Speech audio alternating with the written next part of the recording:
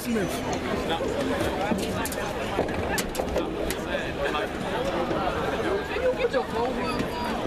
You're not my dad.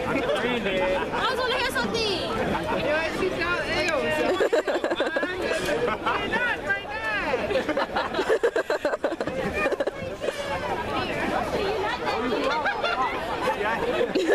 dad.